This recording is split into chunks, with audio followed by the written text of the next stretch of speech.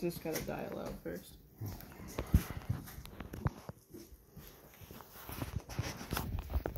Takes too much. I missed you.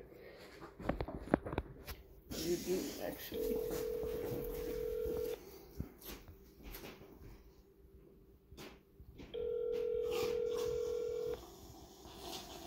Your call has been forwarded to an automatic voice message system.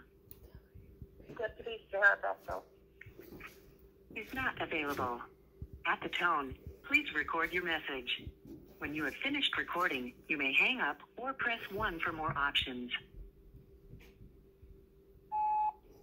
Hi, Deputy Bissell. My name is Jason Cotter, and um, um, it's Devon Caswell as well. And I just wanted to call and tell you that, you know, my emotion might have ran high a little bit. I might, I, I, I'm sorry for, you know, I did very, uh, being so uh, animated, I guess you would say. Um, but um, recent events, you know, the reason that you were called to assist the Clintonville Police Department, who didn't show up here, is because I believe because I mean I can't obviously, I, you know, I don't have access to information, but we were recently sexually assaulted by them, and there's an attempted cover up, and I mean it's not, it's definitely not unknown to the general public. So, um,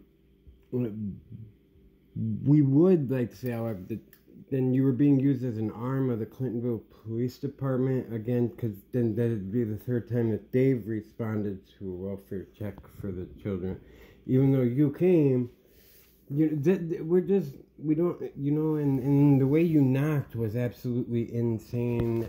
Um, PTSD was set off by them assaulting us, and, I, and I'm not expecting acknowledgement or or even asking something like that of you to acknowledge that that happened. Um, but I just want to tell you that we do have PTSD and has been triggered um, by the Clintonville Police Department and, and the actions of them.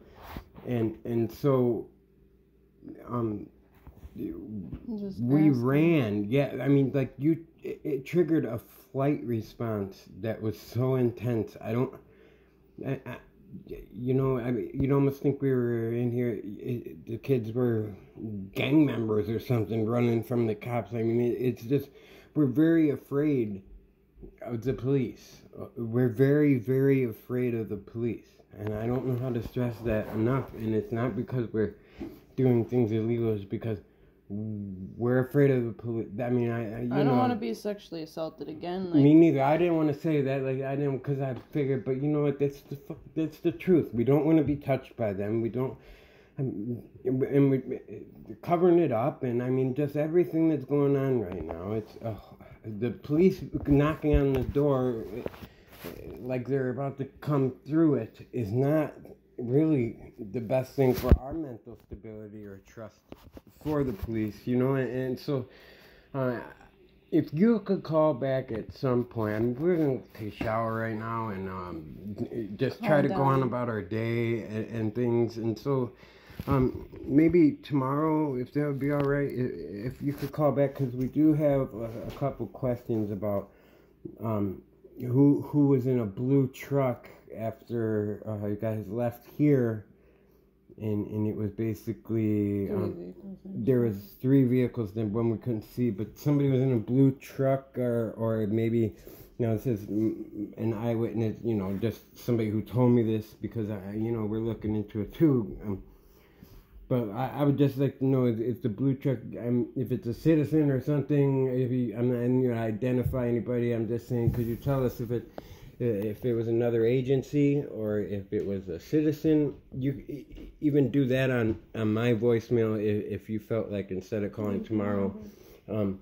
you, you know you could call 715-460-0607 and and maybe um you know if we could just know that um who who why i mean was it a citizen that said that children need to be checked on uh, again this this week or if it was you know uh, an agency or you know i mean uh, the Waupaca County Sheriff that we spoke to the sergeant that that told you to call us no he said it was an he the agency assist was was assisting the Clintonville Police Department. Um, so um, was there another agency involved? I guess is my question, and, and like specifically like the blue truck that was like uh, it, it seemed like to me they were saying it was reported to me you guys left here and then said to the blue truck, you know, blah blah blah, and then they said okay, and it was an adios kind of thing. I mean, I,